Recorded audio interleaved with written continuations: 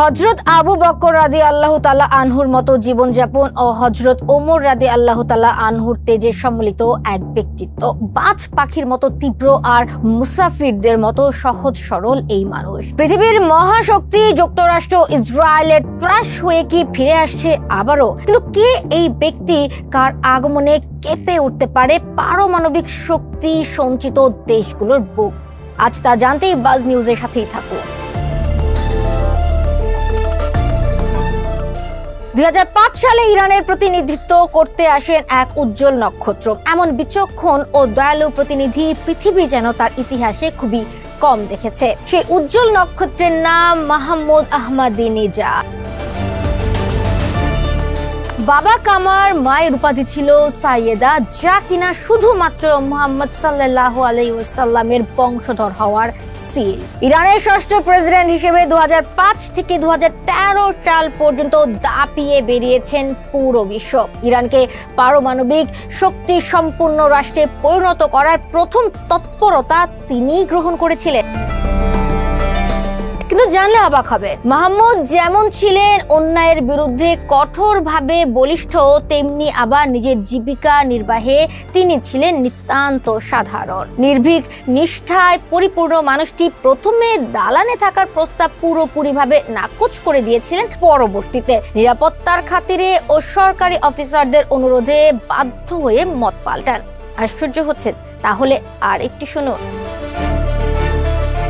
নিজের পড়ার জন্য ছিল দুটি মাত্র শার্ট আর ঘরে ছিল কয়েকটি কাঠের চেয়ার। নিজের ছেলের বিয়েতে মাত্র পঁয়তাল্লিশ জন মানুষকে নিমন্ত্রণ জানিয়েছিলেন তিনি। অতিথিদের জন্য বিয়ের মানসম্মত খাবার তো দূরের কথা, প্রেসিডেন্ট হয়েও খরচ বাঁচাতে সকালের নাস্তা বাসায় সারতেন। মানুষটি এই সাদামাটা রূপের বাইরেও দেখিয়েছিলেন, আর একটি রূপ যা পুরো বিশ্বকে নজরবন্দি করে দিয়েছিল ইরানের দিকে।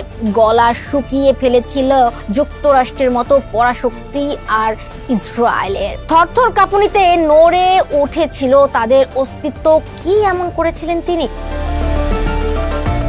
মাহমুদ আহমাদি নেজাদ ইরানের প্রেসিডেন্ট হওয়া ছাড়াও ছিলেন একজন প্রখ্যাত ইঞ্জিনিয়ার ও একজন শিক্ষক। ইরানকে পারমাণবিক শক্তি সম্পূর্ণ করার জন্য তিনি বিভিন্ন পদক্ষেপ গ্রহণ করেছিলেন যা একই সাথে সমালোচিত। নির্ভীকতার উদাহরণ। সাথে যুক্তরাষ্ট্রের জন্য হুমকির ইঙ্গিত হয়ে দাঁড়িয়েছিল। দুই হাজার পাঁচ সালে টেলিভিশনের সামনে এসে তিনি বলে দেন হোলোকাস্টে মিথ পুরো বিশ্ব তোল পার হয়ে উঠেছিল তার এই মন্তব্যে। সবার মনে এখন প্রশ্ন জাগছে হোলোকাস্টে মিথ এর অর্থ কি?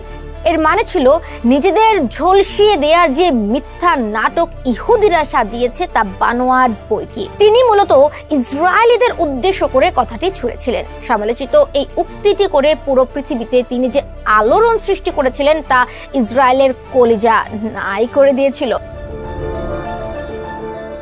উনিশে মে ইব্রাহিম রাইসি প্রাণ হারান মর্মান্তিক একটি হেলিকপ্টার দুর্ঘটনায়। তিনি যাওয়ার পর থেকে তেহরানের মসনদে কে এসে রাজ্য সামলাবে সেই নিয়ে জল্পনা কল্পনার শেষ নেই। তার মধ্যে মাহমুদ আহমাদি নেজাদ ইরানের প্রতিনিধিত্ব করতে যে আবার প্রস্তুত তার বার্তা তিনি জানিয়ে দিয়েছেন সবাইকে। দেখছেন বাস নিউজ, ধন্যবাদ।